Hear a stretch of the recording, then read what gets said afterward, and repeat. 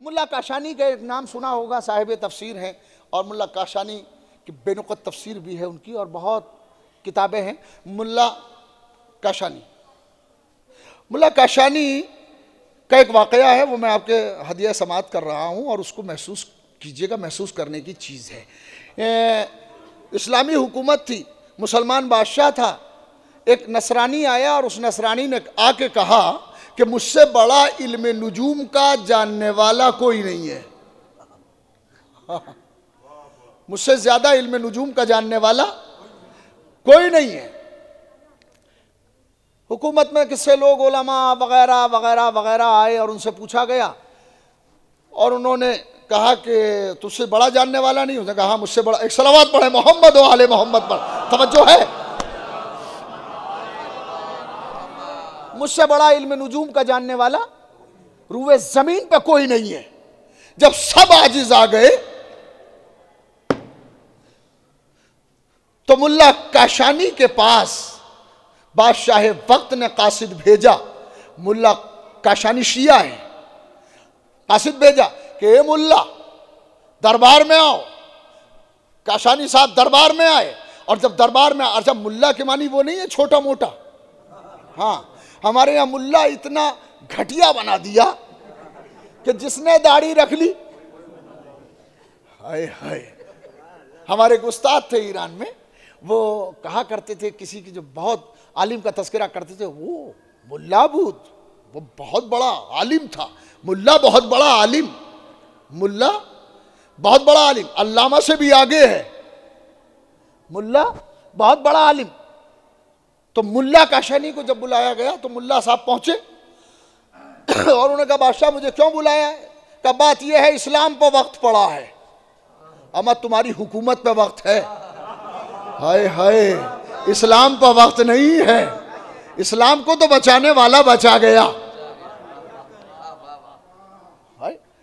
تو کہہ اچھا بتاؤ کیا بات ہے؟ کہ لگے، ہمارے دربار میں ایک نصرانی آیا ہے اور جو کہہ رہا ہے کہ مجھ سے بڑا کوئی علم نجوم کا جاننے والا نہیں ہے۔ ملا نے کہا، کہاں ہے وہ؟ کہ وہ سامنے ہے۔ ملا اس کے پاس پہنچے اور پہنچ کے پوچھا کہ، سنا ہے کہ تمہارا دعویٰ ہے کہ علم نجوم کا جاننے والا تم سے بڑا کوئی نہیں ہے؟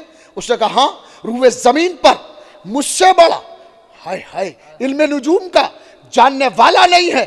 تو ملا کہتے ہیں کہ تم تو مجھے جاہل نظر آتا ہے۔ وہ کہتا ملا، میں نے تمہارے علم کا شورہ سنا تھا، مگر تم تو بد اخلاق ہو۔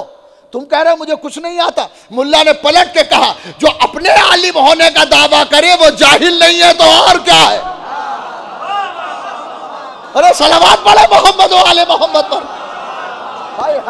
توجہ فرمائے۔ علم کا تو کمال ہے، جتنا عالم ہوتا جاتا ہے، اتنا ہی منکسر المزاج ہو جا جاتا ہے۔ خود کو طالب علم سمجھتا ہے۔ کہاں کیا بات ہے کہ تجھ سے بڑا کوئی جاہل نہیں ہے کہ نہیں میں نے تمہارے علم کا شورہ سنا تھا اور آج پتہ چلا کہ تم بد اخلاق بھی ہو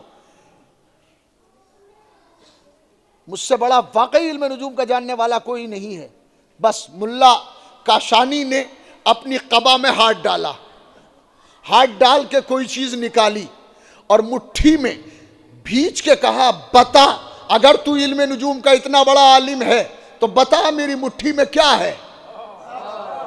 ارے نہیں، غور تو کرے میں کیا کہہ رہا بتا بتا، میری مٹھی میں کیا ہے؟ اس نصرانی نے کبھی مٹھی کو دیکھا؟ کبھی زمین کو دیکھا؟ کبھی آسمان کو دیکھا؟ ملا نے چوٹ کی۔ تو تو کہتا تھا بہت بڑا عالم ہے۔ اور تو اتنی سی بات نہیں بتا رہا ہے کہ میری مٹھی میں کیا ہے؟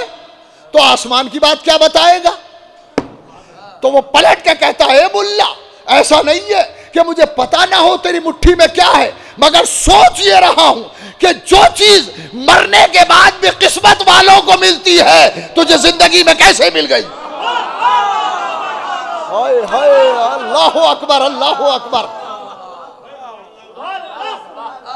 جو چیز مرنے کے بعد بھی صاحبان نصیب کو ملتی ہے، قسمت والوں کو ملتی ہے، تجھے زندگی میں کیسے مل گئی؟ ملا نے کہا، بتا پہلیاں نہیں ہیں۔ یہ بتا میری مٹھی میں کیا ہے؟ تو وہ کہتا ہے کہ میرا علم کہتا ہے کہ تیری مٹھی میں خاک بہشت ہے۔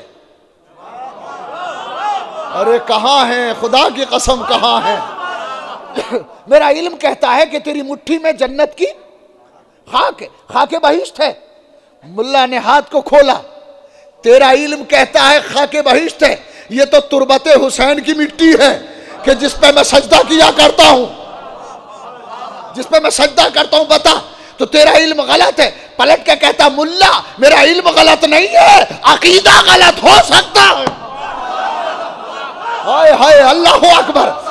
میرا علم غلط نہیں ہے۔ ملا نے کہا، سوچ، وہ عظیم کتنا عظیم ہوگا حسین کہ جس کی تربت کی مٹی بھی جنت کی مٹی ہے۔ سلوات پڑھے محمد و آل محمد۔ پر